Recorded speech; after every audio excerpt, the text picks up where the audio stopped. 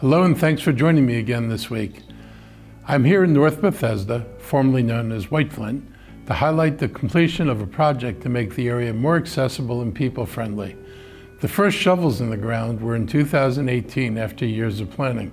Today we have city blocks that are easier to navigate, sidewalks, underground utilities, streetlights, landscape, and stormwater management canals that are all upgrades over what we had before.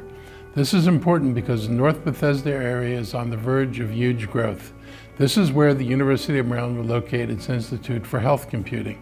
I was thrilled to see the agreement with them establishing this institute, and this academic research site at the North Bethesda Metro Station will be a catalyst for development from the life sciences industry and other businesses that want to be close to the revolutionary work that will be done in data computing and artificial intelligence to bring treatments and cures faster to our patients. One of our planned bus rapid transit lines will run along 355 and have meaningful public transit options is critical to making the area accessible and of course it's good for the environment to keep as many cars off the road as possible. It's also critical for economic development and the state of transportation services is cited by business leaders as a major impediment to attracting economic development and we're no exception. We are looking at some exciting plans for the future of this area, which will be meaningful for the county and the state for advances in public science and public health. Sometimes our affordable housing problems seem daunting, yet they don't have to be. We just need the courage to act, and we have to act in a multitude of ways. We need to preserve our existing housing and avoid displacement of people who live here now. We don't want to price them out of the county. One important part of that solution is rent stabilization. This county is losing affordable housing units faster than we can replace them. And replacing them isn't enough. We need additional units to accommodate future growth. We need them now. We are building affordable units and we're working with affordable housing providers to preserve others, but it's simply not enough. In a typical development in the county, only 12.5 to 15% of all the new units built are affordable but they're only affordable to a narrow band of incomes and almost no family-sized three-bedroom units are built at all. In the year 2000, the county had about 43,000 naturally occurring affordable units here. By 2020, that number was down to 22,000, and we're projected to lose another 11,000 in these next 10 years. These units didn't simply disappear. They simply became unaffordable because of rent hikes. That situation sets the table for two competing bills, both introduced at the County Council on Tuesday. As many of you know, I support the measure co-sponsored by Council members Jawando and Mink, the one they call the HOME Act. It limits rent increases to the county's voluntary rent guidelines, or 3%, whichever is lower.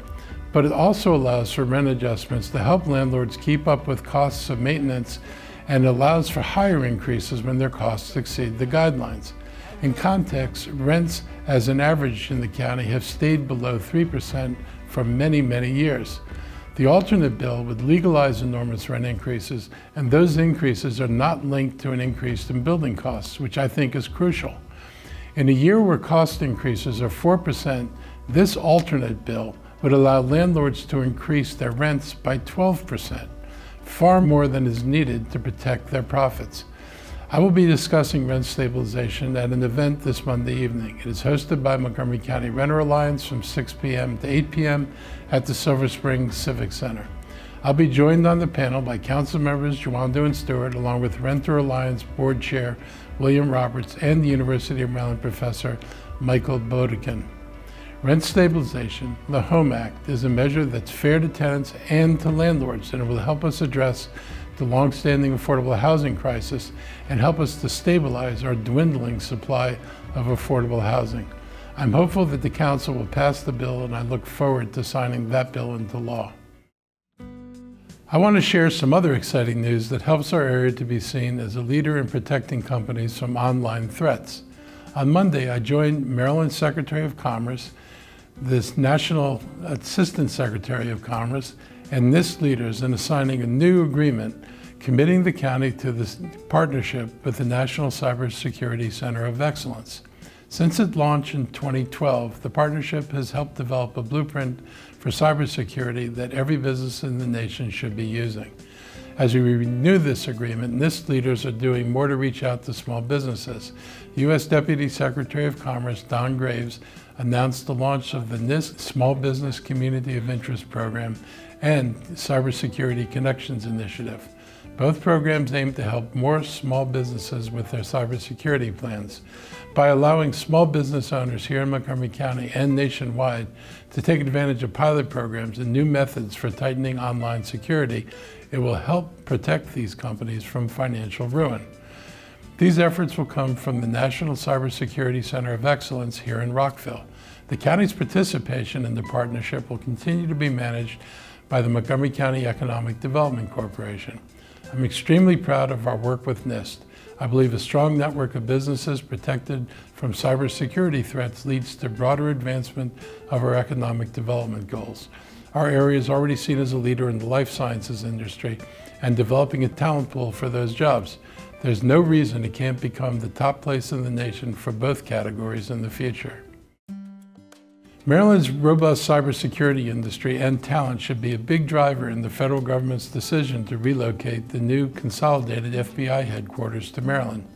The forthcoming decision by the GSA to select either one of two locations in Prince George's County in Greenbelt Belt or Landover, or an alternative site in Springfield, Virginia is upon us. This week, County Council President Evan Glass and I co-authored a letter lending our full support to Prince George's County's bid to become the home for the FBI's new consolidated headquarters. There are many reasons why Prince George's County remains the best choice for relocation, including transit considerations and a savings of between a quarter and a half a billion dollars compared to moving the headquarters to Virginia. I stand with Governor Wes Moore, Prince George's County Executive Alsobrooks, and our entire congressional delegation in supporting equitable regional growth. Selecting Prince George's County as the new home for the FBI helps our region and the state of Maryland to prosper even more. Let's hope the FBI headquarters lands next door. This week, I, along with every council member, sent a letter to the Maryland General Assembly in support of the Melanie Diaz Sprinklers Save Lives House Bill 1292. A majority of the older unprotected buildings throughout Maryland are actually in Montgomery County, so this House bill has the potential to save lives here. This legislation is needed to prevent further tragedies and would improve safety standards for county residents. Plans for this change are already in motion with the state fire marshal putting this mandate in place by 2033. If passed, this bill would also codify this change into law so that all high-rise buildings will be protected by an automatic sprinkler system by 2023. It's currently in the House Rules Committee and should be released so it can be heard by the full General Assembly. I want to thank our Montgomery County delegates for their sponsorship of this bill. It is a necessary but not inexpensive requirement, and we will need to work with the state and federal partners to find ways to help reduce the costs that could otherwise wind up displacing people.